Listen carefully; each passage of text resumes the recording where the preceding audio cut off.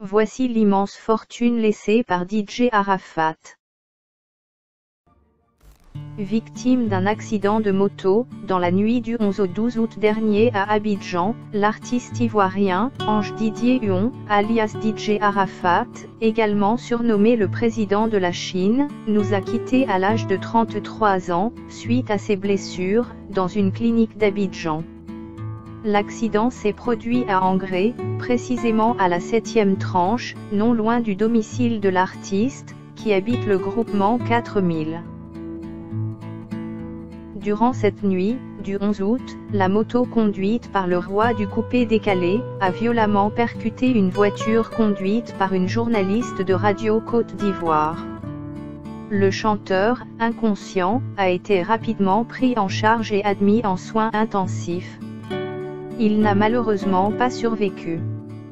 L'artiste dominait la scène ivoirienne et cette hégémonie lui rapportait gros. Le président de la Chine populaire laisse derrière lui, sa femme Carmen Sama, cinq enfants, dont deux filles et trois garçons, ses proches mais aussi, une belle fortune. S'il a connu de moments difficiles dans son enfance, Arafat DJ s'est battu pour avoir tout ce qu'il veut, et ce, grâce à sa musique. Après évaluation, l'ensemble des biens laissés par le président de la Chine est estimé à plus de 2,5 millions d'euros, soit un peu plus d'un milliard 600 millions de francs CFA.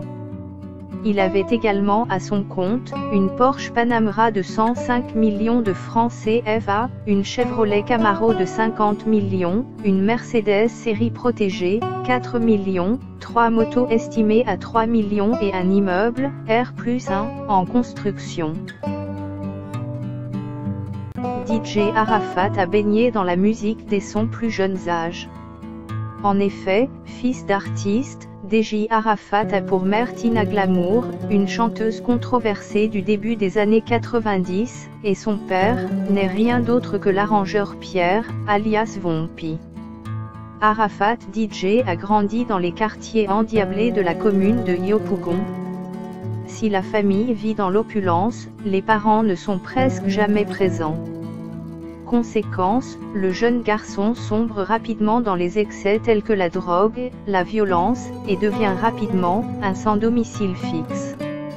Son refuge, la musique pour laquelle il exprime un attrait, notamment le coupé décalé, un rythme fusionnant rock, percussion et hip-hop, inventé au début des années 2000 à Paris par le célèbre Doug Saga.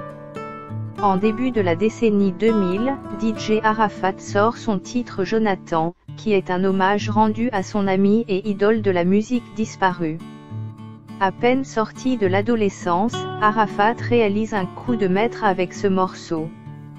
Après une traversée du désert entre 2005 et 2007 en France, d'où il fut rapatrié, s'ensuit alors plus d'une décennie au top niveau du coupé décalé.